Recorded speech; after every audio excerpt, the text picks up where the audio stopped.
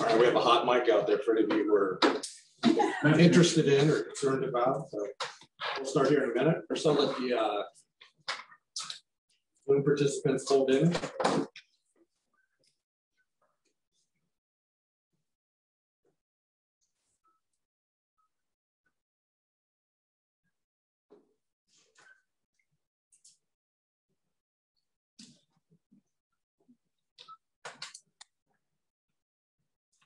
Good, Tracy.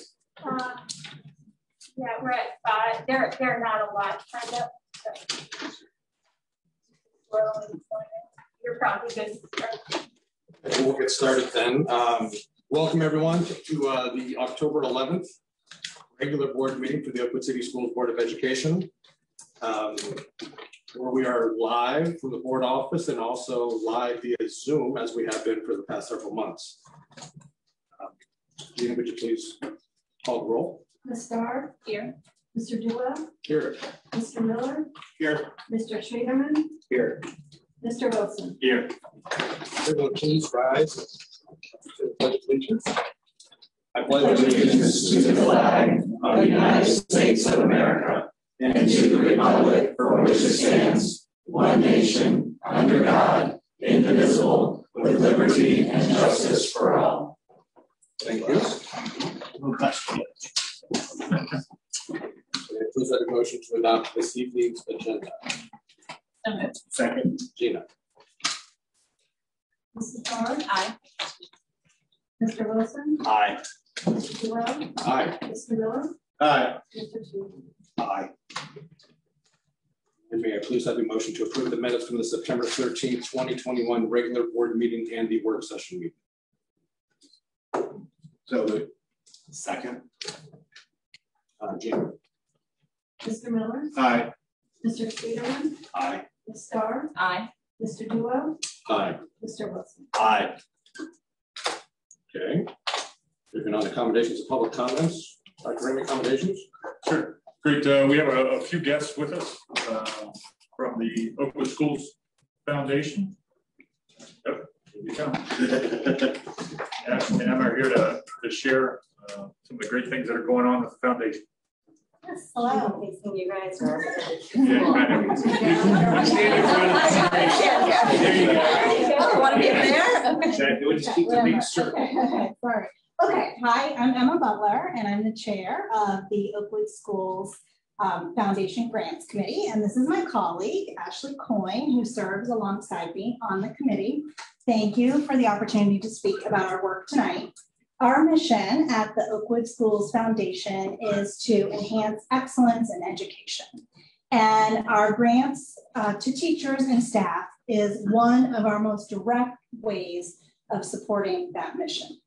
I can honestly say that reviewing the applications for the grants and learning more about our teachers' passions and vision for their classes and being able to provide this extra opportunity for our students is one of the most rewarding parts of my work on the board. It was even more rewarding this year as we all returned back to semi-normalcy and focused together on providing the best learning environment for our students. So thank you to all the teachers who took the time to apply and to think of new ways to support their classrooms. We also want to thank our grants review committee, which included Roger Crum, Stephanie Campbell, Dan Kugel, as well as Kyle Ramey and Kimby Lang for their thoughtful discussion around each grant application. It is always rewarding to see how every single resident comes together to support our schools and their work. So without further ado, we're excited to present the check tonight um, to the Oakwood Schools on behalf of the Oakwood Schools Foundation and in partnership with the Oakwood Fine Arts Boosters for the fall 2021 grant cycle. The total amount is in excess of $5,000 and will support the following programs. We have two classroom sets of ukuleles for our elementary school students at both Harman and Smith. Uh, we have a special guest speaker, Dave Rover, who spoke to uh, about kindness and civics to both the junior high and high school students. And we also have brand new cordless microphones for the acapella program at the high school. Um, so now we'll present our check All here. right, Do you so much. Thank you. much appreciated. There we go. Yeah, right. There- Very candid. I'm glad you're shy, Mr. Wilson. Thank you.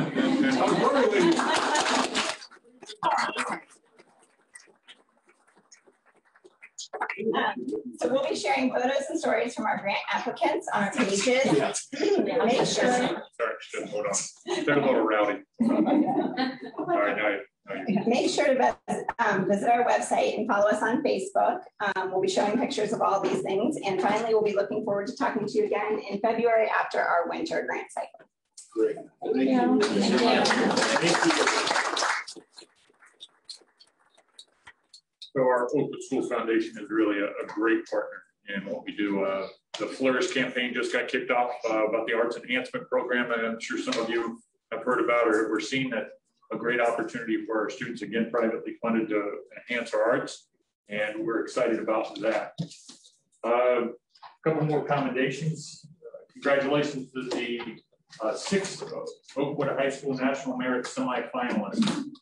Uh, We're excited about that, and uh, that's always a great thing for the National Merit Scholars and for the scholarship. Uh, Congratulations also to Dan Shaw. I think I saw Dan back there. uh, Back, uh, Dan uh, with Shared Shared Resource Center, now Bradley Payne Advisors received the Dick Maxwell School Finance Award from the State Association of State Superintendent Association. Uh, That was awarded just this past week to him, and uh, he gave a great uh, thank you speech and did a really nice job. So thanks, Dan, and congratulations. That's, that's good stuff.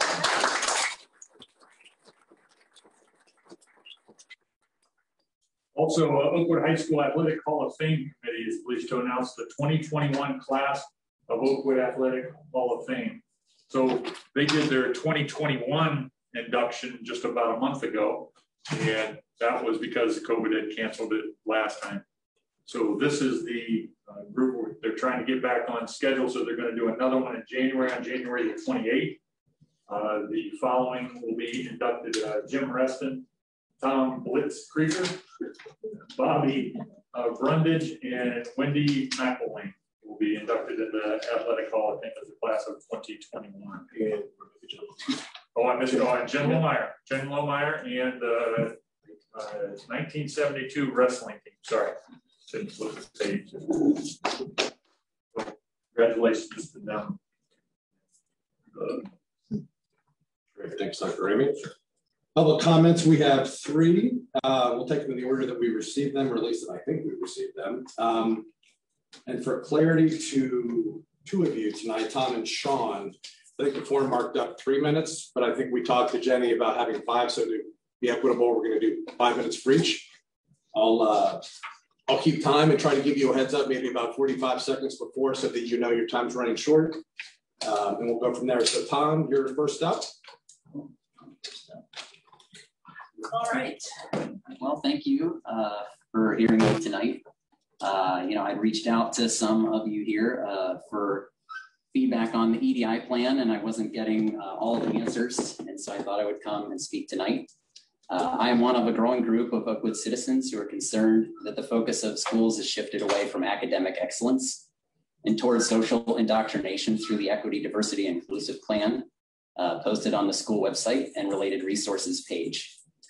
The Oakwood Register published my letter to, to the editor this week seeking clarity on topics like gender and critical race theories being pushed by leftist activists and now being assessed for adoption in our schools. I made a clarion call to the dream of Dr. Martin Luther King Jr., whose work led to the end of Jim Crow laws and racism that plagued our country for a century following the Civil War. I'm sure you know that Dr. King was a devout Christian man and pastor and his faith drove him to speak uncomfortable truths in his day. Christianity is ultimately connected to understanding the deepest truths of the world around us and applying that knowledge to the problems of the day. Dr. King appealed to this natural law philosophy to argue against the evils of racism. And along with thousands of years of tradition, natural law provides the basis for Christian promotion of societal goods like strong marriages and healthy relationships when discussing human sexuality. I am deep- deeply concerned that Oakwood schools are becoming less welcoming to the inputs of Christians and other concerned citizens in the community with the shift toward the EDI program. Referring specifically to the pushback against the LGBT agenda on display on the school's website, now on the resources page, Board of Education candidate Lauren Kawai stated on her Facebook page that Christians are, quote, more than welcome to enroll your child in a different school that aligns better with your values. She also mocked parents concerned about protecting their children's, quote, innocence and heterosexuality. This is bigotry and an inability to engage respectfully with a diverse array of ideas, not the words of someone who is genuinely interested in what is best for our children. Current board member John Wilson is on record saying he shares his values with Lauren, which is why I am bringing this up at this forum. I would like to know where the board and our superintendent stand on these issues. And I'm proud to stand with Dr. King and speak with clarity and truth against the politically powerful ideologies of our day. I think some important voices have been left out of the EDI discussion, and we are ready to engage charitably and work for the good of our children and our community. Thank you. Thanks, Don.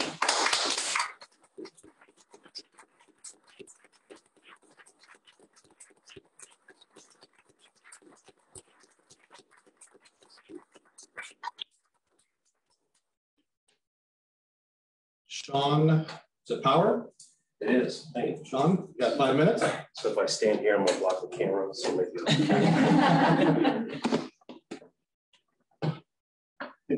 I'm on. Thank you very much, and thank you for giving us a little extra time because trying to practice something that you want to state and get it in three minutes is really, really hard. Um, also, let me just say that it was a real treat to be in the working session. Really wish more of our parents could um, do that. I don't know if that's something that's also available on, online. But I found that very informative, very, very informative. And uh, Dr. Ramey, really appreciate a lot of your comments there and especially uh, in terms of asking for feedback on EDI.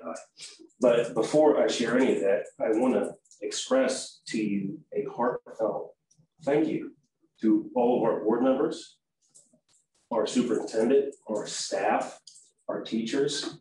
You guys have a really hard job, a really hard job. Our parents recognize that.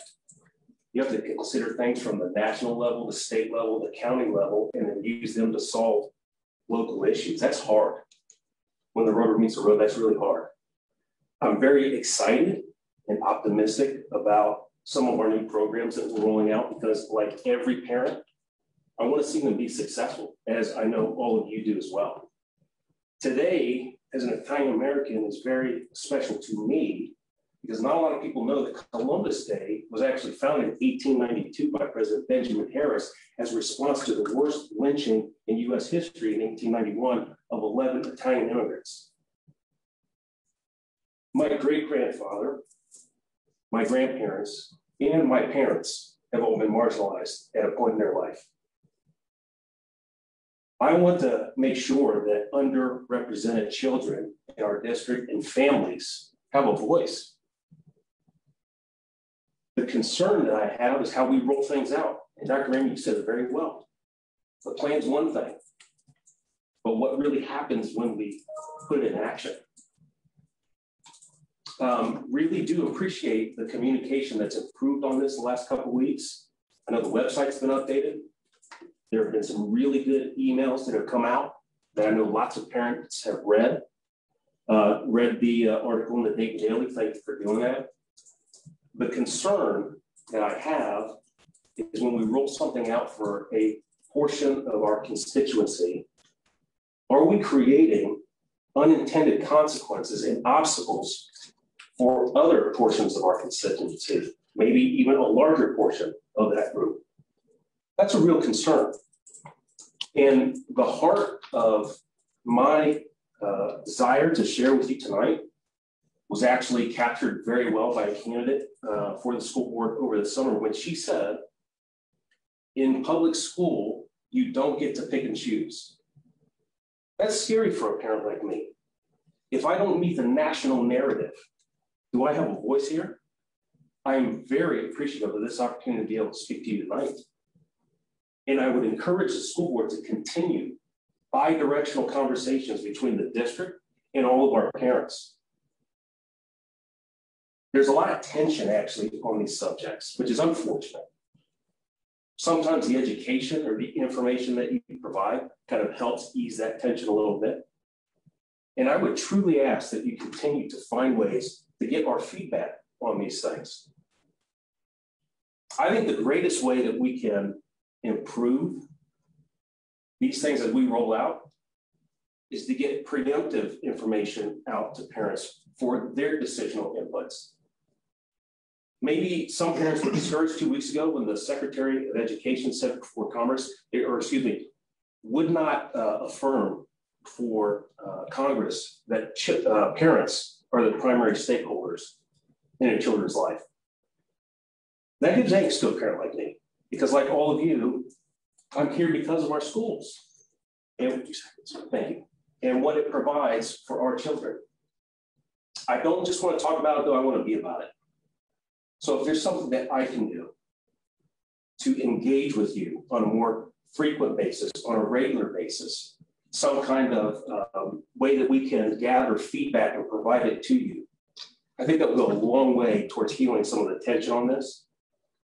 Clarity on just even a couple uh, uh, points. What are we going to do about the honor system? What are we going to find after we perform an audit on that? What are we going to do about our facilities? Those are two just uh, many questions that parents have that we're very concerned about, especially for somebody like me who has small children.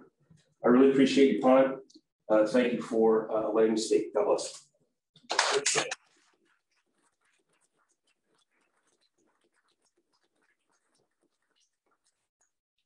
Jenny, there she is. here, excuse me.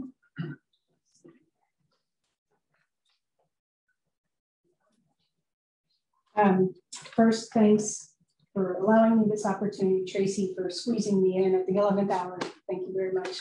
She got my email at 6:30, so thank you. Um, I want to echo his comments about how I appreciate your job is hard. You can't please everybody all the time. But tonight I wanted to bring up a topic that I think needs to be addressed. Um, and that is there's a significant level of subjectivity in determining the severity of the code of conduct violations and also the consequences that are imposed on those violations. Currently, this determination of the severity of a, what the violation is and the consequence falls into the hands of four people. Um, when allegations and consequences are considered severe in the eyes of these four individuals, or three, there should be, in my opinion, a second, a second level independent anonymized review.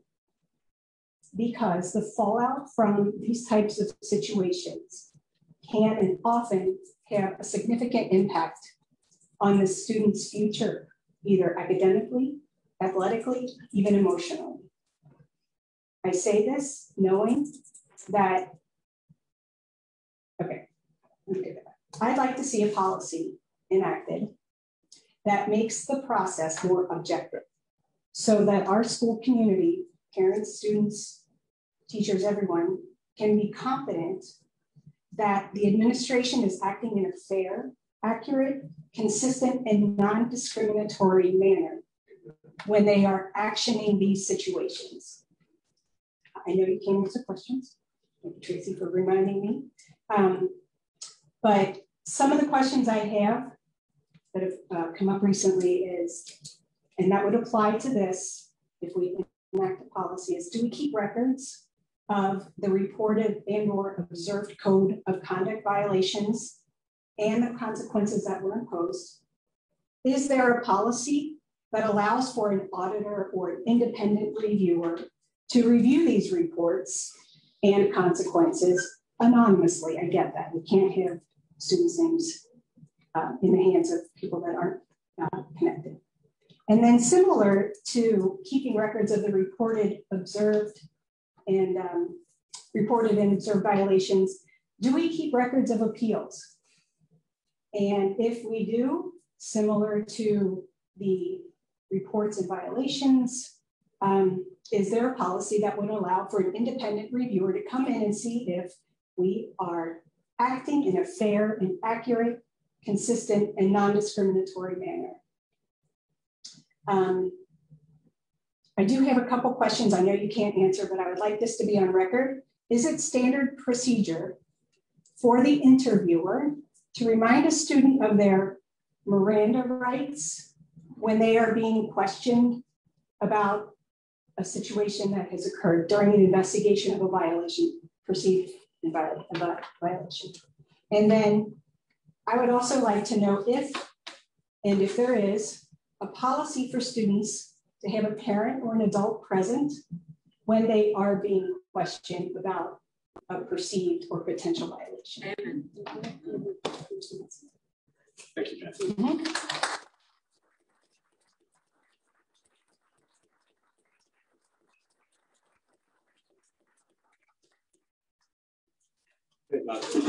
Curriculum showcase.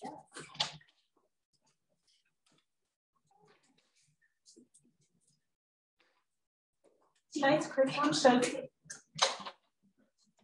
Uh, tonight's curriculum showcase uh, was put together by two of our English teachers for junior high, Ann White and Hoffer. And one of the um, techniques or learning methods that they use is shared inquiry. I uh, just wanted you to see one more technique that um, our folks will use in their English department. So they put together um, a show, uh, tape for us. So.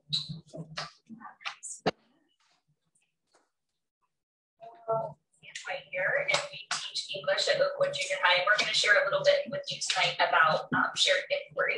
Ann and I went to a one-day training at the Main Library in the summer of 2019, and at the end of the day, we both said it was one of the best meetings we've ever attended. So you might be thinking, what is shared inquiry? inquiry? Well, shared inquiry is an active and collaborative search for answers to questions of meaning about the text. And what's great about this resource, it's research supported and it's learning that promotes deeper thinking through questioning, discussion, and writing.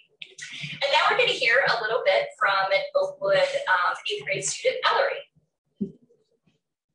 Hi, I'm Ellery. These are my thoughts on shared inquiry process from Mrs. Hoffer's staff last year. Um, I enjoyed seeing other people's opinions on, on our stories. I saw viewpoints I hadn't seen before that like, broadened my view on it. Um, I'm not a fan of interpretive questions though, because I like having one right answer but despite this, I still had a fun time coming up with answers to questions and sharing them with the class. Um, having shared inquiry discussions helped me better understand the stories we were reading. For example, um, last year, we when we were reading The Witch Who Came for the Weekend, I read it like five times over and I could not understand it for the life of me. And that then I like felt lost reading it every time everyone would be talking about. It, like, I don't know what you're talking about. And then hearing others people, like other people's viewpoints in my class when we all came together, um, helped me understand what the story was about. And that's it. Hope this helped. so how does shared inquiry work? Well, first of all, it revolves around selecting a text or a portion of a text. And the great thing about shared inquiry is it requires students to read critically because they're going to read the text twice. And so for the first read, students generate questions. And by this, we mean any questions they have about the text. They could be very factual questions, they could be speculative questions, just whatever they need to clarify the reading. But then we get into the part that leads to the shared inquiry discussion, which is focused annotations. And this revolves around an interpretive question which has more than one answer. So students go through the text and focus on that interpretive question, coming up with what they believe is evidence that supports either one or both sides. And then students are ready for the discussion. Now, the class discussion is really interesting because it requires kids to stay anchored in the text as they're discussing. So they are discussing the um, interpretive question to which there's more than one answer. So there's a little bit of debate, but it always comes right back to what the text says. During the discussion, the leaders um, are encouraged to listen and ask further questions, which really allows the students to have ownership and gain control. When the discussion is over, students are asked to reflect on the discussion, not only on how it went, but also how they added to or changed their thinking based on the discussion. Hello, um, I'm Annie Williams, and these are my thoughts on shared inquiry. So last year, um, it really helped because it helped me to hear everybody's um, point of view and what we're reading about at the time, and it could really like broaden your views and really it changed mine a lot of the time because it goes a lot more in depth.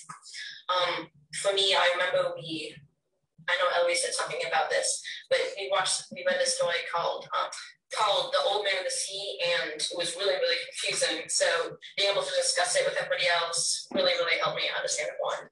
And personally, I'm a very outgoing person, so being able to be in a group of people like that really helped me improve, um, like sharing stuff like that. And also, like that's kind of where I strive.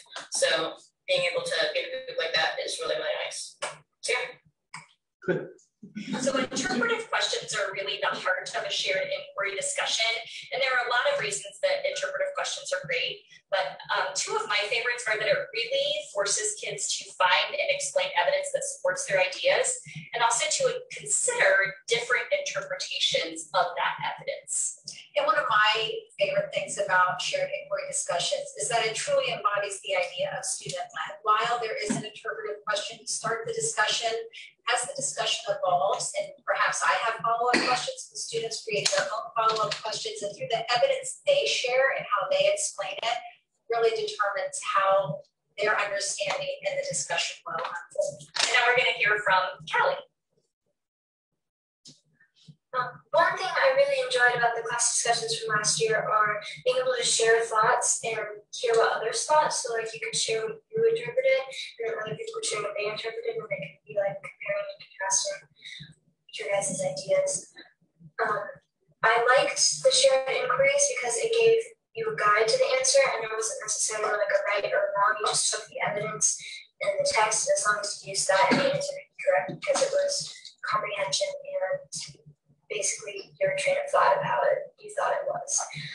Um, the annotations really helped because they helped guide um, my ideas and thoughts, and led you to like a conclusion. Like the annotations could help as you read them or as you like wrote them down. It made you think about what you were reading, and really made you think about what really was going on, and that usually helped lead to the answer or like your answer because there's not necessarily one answer.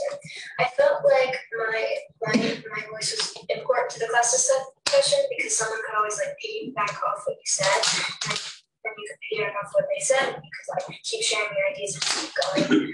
Um, um, it gave me a deeper understanding of the text because it made me think about what was really going on, and it just helped. And two of the ones that were really like this were the ones that came to it again because it had multiple different perspectives in America. Because it had a lot of why I love the shared inquiry teaching model is because talking equals learning, and in English classroom, discussion is at the heart of that learning.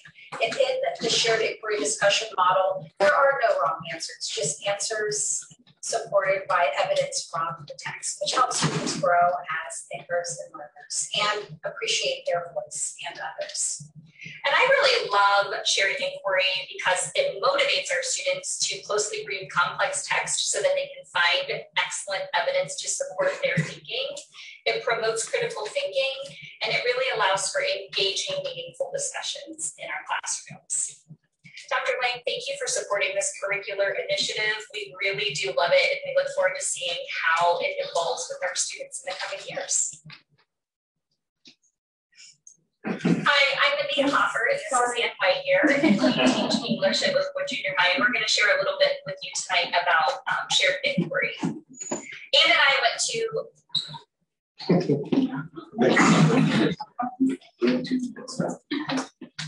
Let's see here. Board. Just point out, so our production uh, king over there, Queen, is, she's she's doing great work managing the cameras, managing all the tech, the Zoom meeting at the same time. Uh, that's that's a lot. That, that's a lot. So thank you, Tracy, for keeping us straight and not tripping over the cord. We appreciate that. Thank you. Board reports. I got one. Give me an eye, Mr. Wilson. Let's go. All right, this is uh, from the Oakwood Schools Foundation, uh, the Flourish campaign public launch. The Oakwood Schools Foundation has publicly announced Flourish, a campaign for the performing and visual arts at Oakwood Schools uh, at Comeback Lumberjack on October 1st. On the top, uh, on the, of the top curriculars and co-curriculars, including athletics, the arts made up five of seven and highest participation rates among Oakwood junior high and high school students. Flourish is a 100% private fundraising effort to raise $8.8 million for new ad for new uh, and enhanced state-of-the-art facilities in the junior high and high school to elevate uh, and celebrate the arts in Oakwood, and to help our students remain competitive in their pursuits. Over $5 million has been raised for the project with the goal to break ground in June of 2022. Uh, special commemoration spaces are available. For more information, please visit the campaign website or reach out directly to the Oakwood Schools Foundation. Uh, the seventh annual Comeback Lumberjacks, uh, presented with or presented by Jessup Wealth Management, took place Friday, October 1st. The event was well attended by alumni and community members. The event was hosted at the Dayton Country Club at 9 p.m. Kevin Jones, Vice Chair of the Board and Chair of the Flourish Steering Committee, publicly announced the capital campaign to the public. It was an exciting event, and OSF is already looking forward to the next year. Uh, homecoming tours, an amazing group of student alumni ambassadors hosted homecoming tours at Oakwood Junior High and High School. The year's cohort of students alumni ambassadors is the largest in the program's history. Uh, the tour included presentations from um, Mr. Brian Hart, Ms. Jennifer Gabbard, and Ms. Heidi Edwards, and also perform live performances from Oakwood students in the band and the fine arts. Attendees were also able to view plans for the upcoming fine arts and visual arts enhancement. There you go. Thanks, John. Who wants to follow that? I didn't think so. I'd be happy. Hold it. Uh, budget and finance, Gina or? Yes, Gina. Okay. Recommendation to approve the certified substitute daily rate as follows effective October eighteenth, two thousand twenty-one. Yeah, please have a motion to approve the recommendation at five A. So moved. Second. Gina. Ms. Starr? Aye. Mr. Duell? Aye. Mr. Miller? Aye. Mr. Schmiederman? Aye. Mr. Wilson? Aye. Can I just share a little bit there? Um, and, and this is something that Mrs. Couch is uh, running front and center on is the number of substitutes that we have in our in our district. Uh, not necessarily to attract folks because, uh, and I, I don't remember the exact bump today, twenty dollars maybe a day.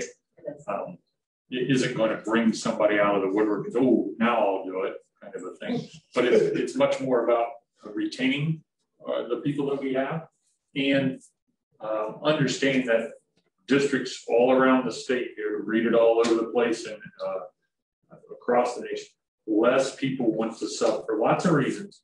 But uh, a couple of our speakers talked about how hard the jobs are.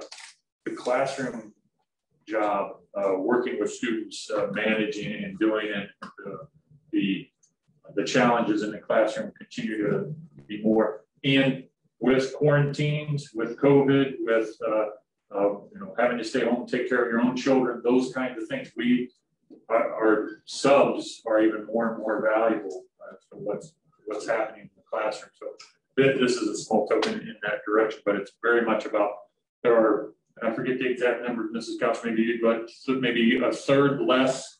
Uh, yeah, sub. probably in the last three years. Yeah, Kevin Miller shared that at that state conference. It's, so less people want uh, yeah. are taking the sub license, and then there are less people getting into education in general, which yeah. long term is very concerning. Uh, that you think about the number of kids that are entering into the profession, there aren't very many that are actually going and doing that. There are a few, and they're, they're good ones, but um, it's it's a real issue. So subs and right. teaching in general. The sub shortage, other districts have been feeling it for the past few years. I think it's just now finally getting to us. Um, so. Jeff, Yep. Okay. You're going to do 5B? I am going to do 5B a motion on the table for monthly financial report. Okay, please have a recommendation to approve the rec, a motion to approve the recommendation at five B. So moved. Second. Gina, Can we have some discussion Yeah. before you take? before we vote, sure. Yep. Okay, um, I'm gonna do part of it and Tiffany's gonna do part of it. Um, I'm gonna talk about the debt refunding that happened this past Thursday on October seventh. We had the opportunity to refinance some debt. It was about four million dollars in debt. Um, and this is due to low um, financing rates. Um, it was originally issued around two thousand thirteen, and it's just a portion of the debt. Um, we were able to save the taxpayers more than two hundred thousand dollars. Here's a check. I feel like, let's make a deal, but, um, this is the check, um, to the citizens of Oakwood School District. The savings that we received on this debt refinancing doesn't come back to the district. It goes back to the taxpayers in, in terms of lower levy rates. Um, we were able to get a rate of 0.66. The original issuance was between two and two point seven five percent. So, um, we were really excited about that and we're fortunate to have the opportunity. We have to stop because Tracy wanted a photo up and I want this photo. John, stay there. All right. Well, you have to join me though. Uh, yeah, I need both of you. Let me get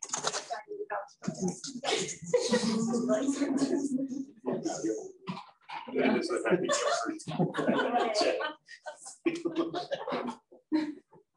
Thank you. Thank you. Thank you. So the monthly financial report, uh, we've all been given that report, it's in your, in your packets. I just think it bears mentioning how we go about establishing what our budget is um, and what the district has um, that kind of goes into that process. And so um, I wanted to just take a couple minutes and mention that the district has what we call a 10-year master plan. It's a programmatic look at our budget and our finances. Uh, we meet with our, our directors and our budget managers. We compile uh, what they expect to need, where we are, what our what our trajectory is, what our program initiatives are. We lay out a budget, like I said, that's programmatic. Um, and from that, we land on what the budget is. It's staffing, it's curriculum, it's student services, it's transportation, all of those pieces. Um, technology is a big one. Um, and they all go into a 10-year plan.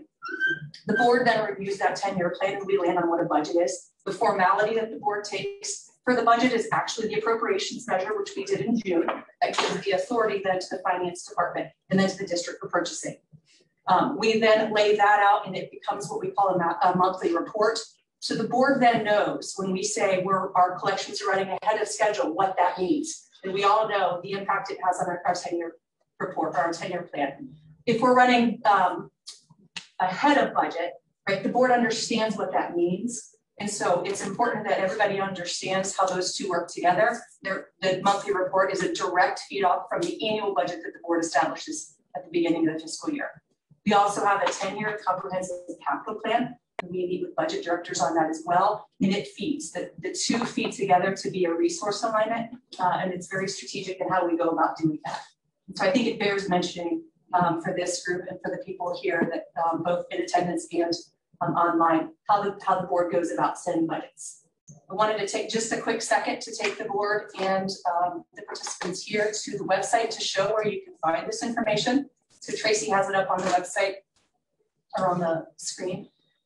Tracy, I'm gonna let you talk as you go. Okay, all right. Um, yeah, so we have been doing some financial updates and you can find those on the treasurer's page as well. That is under um, the district. If you just search treasurer, it will take you here. Um, so you can get, you can see the updates about uh, the ESSER funds and different things that, that are there. So we've been updating those on a regular basis. Um, the five-year forecast that is submitted each um, time it is due, and you can see it's, we have the past three on the board as on the uh, website as well. But I think uh, what probably gets updated the most are the monthly financial reports. The ones that are presented to the board have always been on board docs and they've always been on the website, but I don't know if everyone knows they're there. So you can go through board docs or you can go through this page. And when you go to monthly financials off this page, again, it's going to take you to board docs. Sorry, it's lot running on this computer at one time. And then uh, you can see 2019, 2020, 2021. And um, so this is a rolling report. So if you go to that, even though it says September, that is just the latest figures. You can see the bank reconciliation is there, and then below, and because it's a two-pager, um, but you can print it and download it and flip it also. But if you can see, um, each of the months are there, and it has all the different categories and um, revenue and expenses. So again, you can get to it through board docs, or you can get to it through our website, but it will continue uh, to update. So uh, don't let September, it's not just September, it's every month prior to September as well. So um, we'll continue to keep those on there and uh, provide information on the website.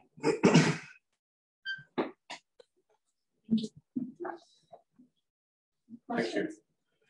Not a question, but just uh, maybe just to amplify a point, how the board of the district have intentionally moved away from what has always been kind of a um, obligation to file a five-year forecast, which didn't lend to as much strategy as we hoped to leverage. Um, and so as an example of this check debt refinancing, having a 10-year forecast, having a 10-year CapEx plan forces us to look at things in components more holistically and leverage them over time when it presents itself. So we file the five-year forecast to comply with you know regulatory, but we do the 10-year forecast to make sure that we're doing right by our taxpayers and our, our community. So. And that is how we manage, and that is how we work through the district. It is the 10-year plan, and to your point, Todd, I think the five-year forecast, which is due next month and will be will be um, up for review. Um, that's our compliance tool. And so we welcome any questions or feedback anybody may have about that. But um, all of that documentation, all of that collaboration happens months in advance. And then throughout the course of the year, we work together as a team to come up with resolutions and problem solving and all of those um, fun things um, as finance folks like to do. Well, a, a few years ago, we, we pivoted towards a shared resource center, and it's not just a reflection as to why. Mean, it's one moment in time as to why, but it's it's a nice reflection and nod as to why we moved to the shared resource center. So Jane and Tiffany and Dan in the back, uh, thank you because I think it makes a difference, it makes a big difference. And I'd like to add too that, that this is also for, this helps us take a look at levy cycles as well.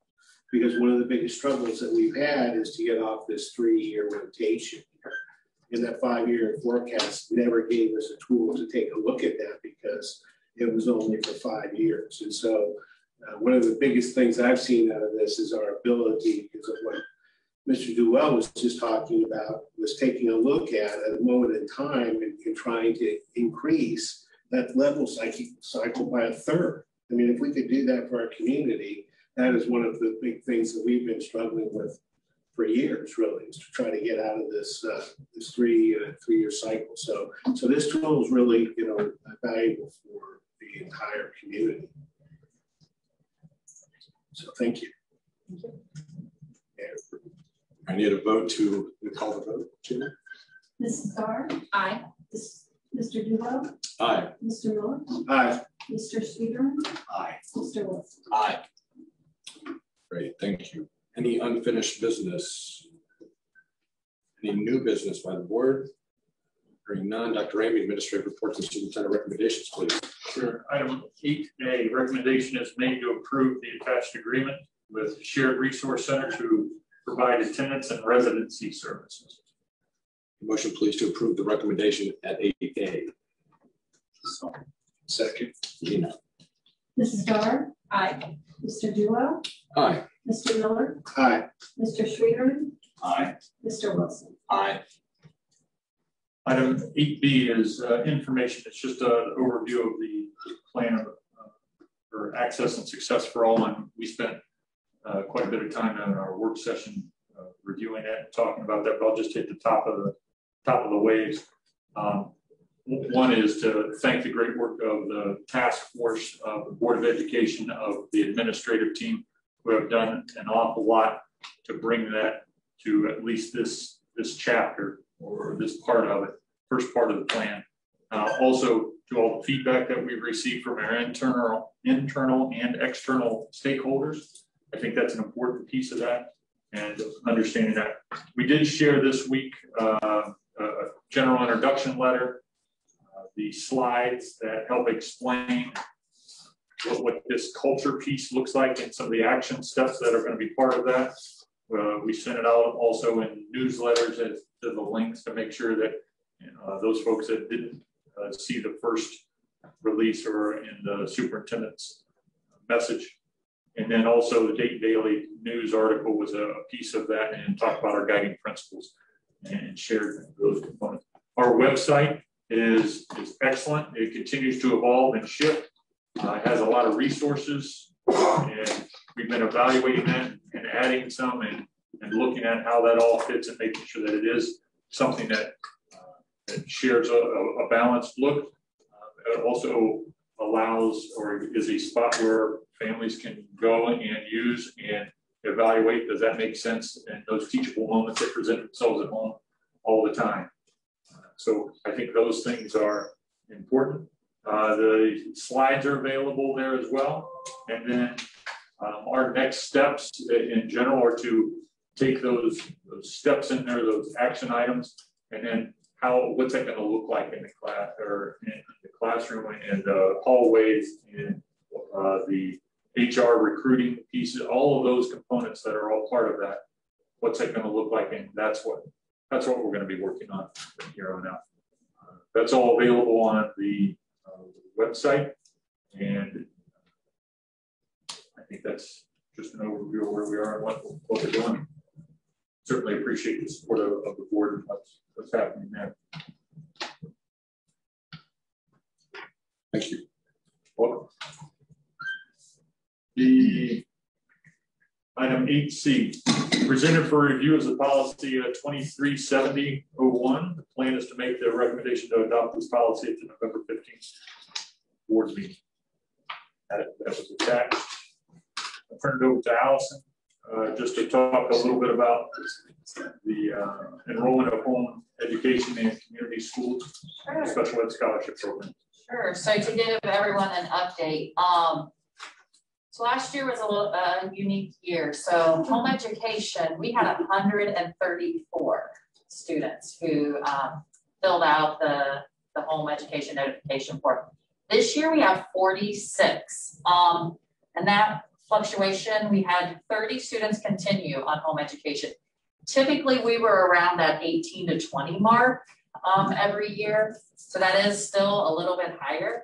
I do think some students are doing home education and families are shocked that it's actually working and they like it and they think it fits. Um, also just ebbs and flows if you have a whole family going through and they have some graduate or they move. Um, so for home education, this year we have 46 students um, doing home education. Um, this year, 30 students continued with home education. We had 16 new students and my assistant who really does keep track of the numbers much better that really is only a few families, but we have three or four kids each um, in that. 82 students returned to Oakwood. Um, 18 students moved. Um, we had that quite a bit with military families who homeschooled for a while and they were going to be transitioning. Um, so we have 18 students move. And then we had six students who enrolled elsewhere, which you'll see in the community numbers, whether that be STEM, Ohio virtual, because you had some of those start to go virtual, and we had one student graduate from home education. Um, community school enrollment. Last year we had 20, uh, the 20, 2021 school year. Um, we had one student that was in a community school. Homeschool was the way a lot of our families went versus the online. Um, this year we have quite a few more who have gone to Ohio virtual um, Stivers, STEM, those pieces. Special Education Scholarship, which is the Jon Peterson and the Autism Scholarship. We have three students um, whose parents have chosen to participate. Um, and then we have four tuition students who are attending Stivers School for the Arts. It's kind of a breakdown of some of our Thank you. Nice job. You're on a roll. I think you should just keep going. Keep going. Okay, so some updates on state and federal funding. So we have, it's item E and F. Um, so let me, I'll start with a, a breakdown. So our federal grants include Title One, which um, maybe some of the parents hear about that. We have Title One reading. Um, you have Title Two, which is improving teacher quality. Um, you can use this funding to help reduce your class sizes and those pieces. Um, we have Title IV, which we, we get a little bit of money in, which is about academic enrichment, student support. Then you have IDEA Big B is what it's called. So it's for special education. Um, and then we have, it's early childhood. It's another form of IDEA Little B. Um, and we get about 6,000. Total and federal grants, we did $624,274. Um, last year, and I think that is almost identical to last year. Last year we were six hundred and twenty-four thousand and forty-one dollars, so almost identical to last year. Um, but Gina and I will rarely get notices because they'll give us more money and they'll drop it in, and then you have to go through the CCIP and reallocate your money and do that. But we are almost um, exactly the same as last year. Um, we use this a lot to pay for salaries, um, which is actually like when you look at uh, item F, when we look at the ARP, IDEAB use of funds, um, that's a new category and they are regularly coming out with new categories of that we have to figure out, okay, they drop in funds and you have a, a program that you work through and tell them how you want to spend it and put it in the categories and pieces. Gina really helps run point on that. We also work with Montgomery County ESC. Um, Bill Lawson down there will help us write those grants and get that done. I'm just the point kind of for our district on those pieces. She's the financial point. Okay, Thank here we you, go. You're welcome. Dr. Ramey, personnel items, reservations on renewals. Great, uh, and not a whole lot going on. We're well into the, uh, into the school year, but we do have a few items. Uh, nine A, if we can take nine up, items nine A along with items ten A through D at the same time. May I please have a motion to approve the recommendations of nine A and ten A, B, C, and D. So moved. Second. Gina. Starr, Aye. Mr. Duell, Aye. Mr. Miller, Aye. Mr. Schmiederman, Aye. Mr. Wilson. Aye. Gina, would you take us into executive session? Recommendation is made to enter into executive session for the specific purposes of the appointment of a public official, employment of a public official, or compensation of a public employee or regulated individual, and to consider matters required to be kept confidential by federal law or regulations of state statutes. Does have a motion to move into executive session. So moved. Second. Gina. Mrs. Dar. Aye. Mr. Duell. Aye. Mr. Miller. Aye. Mr. Schmiederman. Aye. Mr. Wilson. Aye. Great. Thank you. The board will now move into executive session and uh, upon the end of the executive session, we will adjourn without taking any further action on behalf of the board or the district. That concludes this evening's public meeting. Thank you all for coming. Yeah. Get out and vote.